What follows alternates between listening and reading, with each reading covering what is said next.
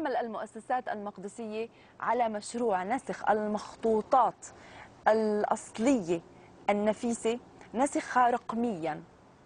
طبعا كل هذه المقتنيات التي في المكتبات والمؤسسات المقدسية هناك مشاريع لنقلها على الإنترنت لتكون رقمية بحيث أن الباحث العربي يستطيع الاطلاع عليها خاصة وأن الباحث العربي لا يستطيع القدوم إلى القدس المحتلة.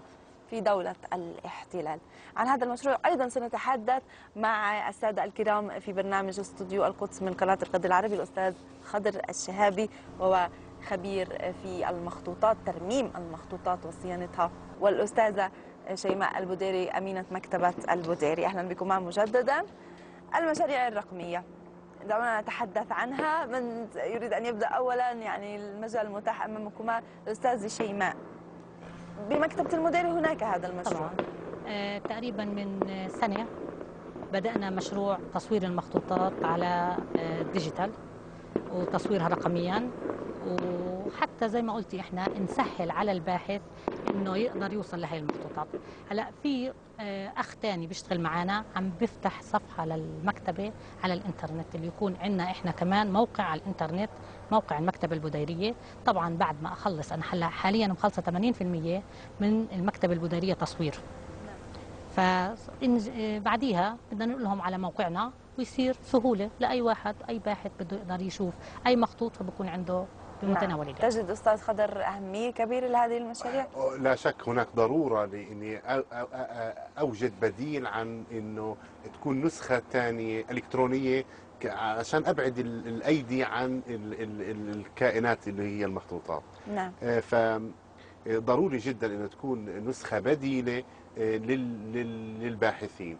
وهو مش مش سيء إنه يكون هذا الشيء على الأونلاين في موقع المكتبة لسهولة لنقل هذه الصور للباحثين والمهتمين خارج حدود القدس. طيب حدثنا عن صيانة الورق ومعالجته وغسله بال... حتى بالمواد الكيميائية نعم. لحفظ الورق ولحفظ الخط. الآن الحبر. الحبر. آه، دعنا الآن نتحدث عن تقنية شد الجلود. نعم. والحشرات التي ممكن أن تصيب الورق. آه، هو آه، المخطوطات بطبيعتها هي مناخ ملائم لتكون الحشرات وهي معيشة للحشرات هي سكن لهذه الحشرات. لأن الحشرات هذه بطبيعتها بدها جو أو جو مظلم فيه رطوبة وفيه مصدر غذاء.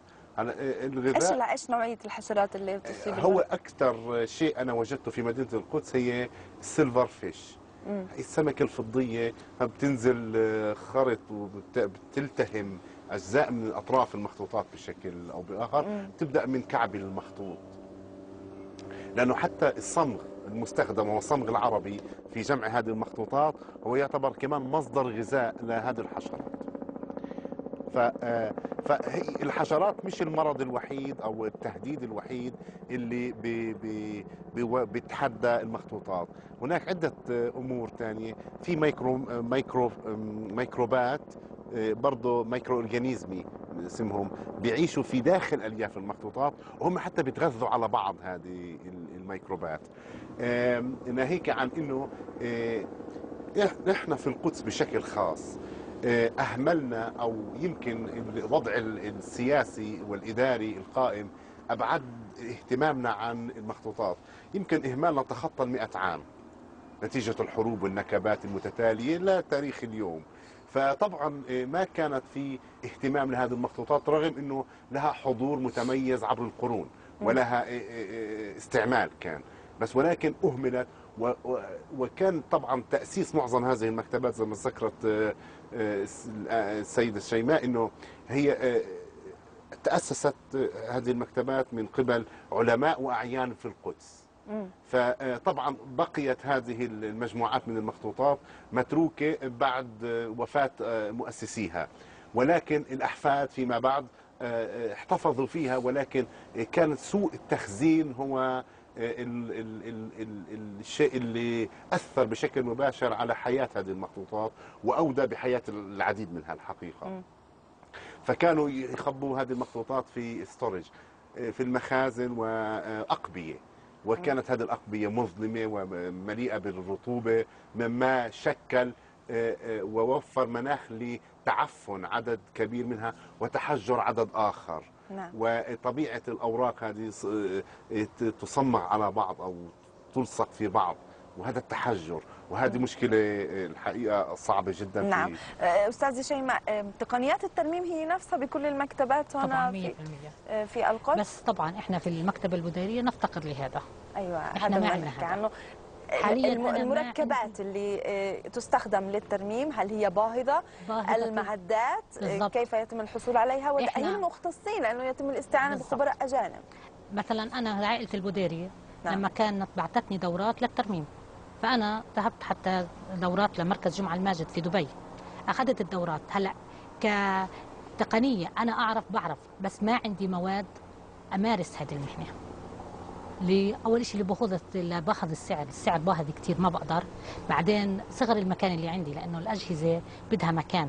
أنا عندي مكان المكتبة كثير آه، صغير يعني فما بقدر أحط أجهزتي فيها. آه، بعدين زي ما قال خضر بدها كمان فنيين. يعني تعامل المخطوط أنا ما بقدر أجي أغامر بمخطوط أتدرب عليه.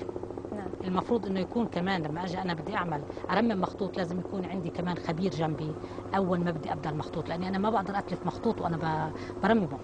طيب في هذه الحالة هل في بديل لعملية الترميم ولا تحفظ هذه هلأ حاليا إحنا عم نعمل على التنظيف الجاف وعلى إنه نحفظهم في مكان بعيد عن الرطوبة يعني نأمن لهم درجة حرارة هذا حتى ما تسوء حالتهم.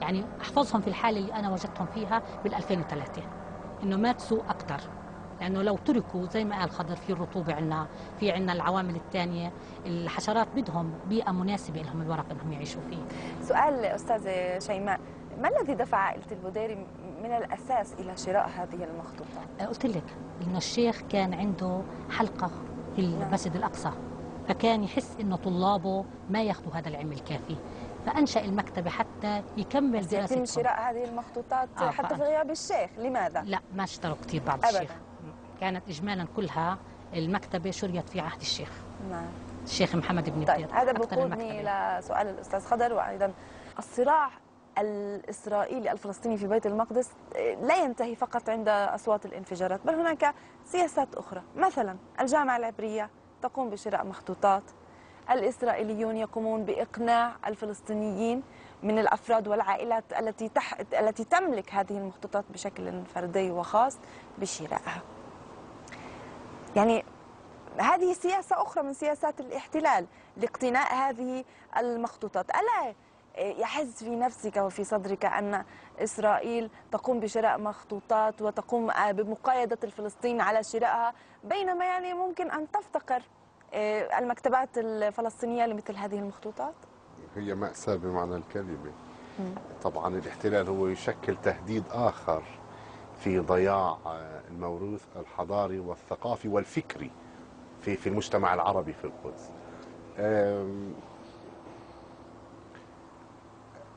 هو الحقيقة أنا بشعر أنه أي شعب في العالم يفتقر إلى تراث يصنع لنفسه تراث وإن كان آه، بالسرقة. حديثا أو. بالسرقة فهو ذكاء عند المحتل حينما آه، يبحث عن تاريخه وذكاء فيه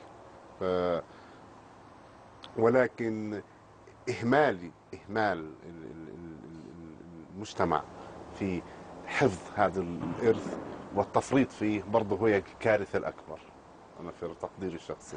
نعم. آه، كثير من الناس آه، فرطت في هذه الكتب ومنه ما ما آه، حتى علمت في إحدى السنوات بعد 48 آه، كثير من هذه المخطوطات أو أصحاب هذه المخطوطات يموتوا وأهل المؤسس هذه المكتبة قام بتفريط في في في هذه المجموعة منهم باعوهم لبتعون للبليلة والترمس عفوا لها التعبير. وكان مستشرقين ومستشرقين يهود في في هذه البلاد بيشتروا هذه المجموعات. بعد 48 نعم. وإلا أنه لغايه تهريبها إلى أمريكا لمؤسسات إسرائيلية. طبعا طبعا طبعا. نعم. يعني أنا كنت مرة في فيينا ففي مكتبة دخلتها كان فيها 3000 مخطوط إسلامي عربي.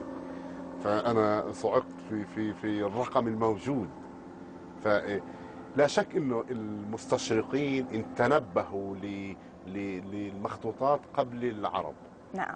وكان لهم آه، سابق الفضل في تحرير النصوص. نعم. تعقيبك أستاذة شيماء هذا الموضوع؟ طبعا بأيد كلامه بس أنا اللي بضيفه إنه آه، اللي ببيع مخطوطاته كما ببيع تاريخه وببيع إنسانيته وببيع أي شيء بخصه. فالمخطوطات هي تاريخنا هي وجودنا هي امتدادنا.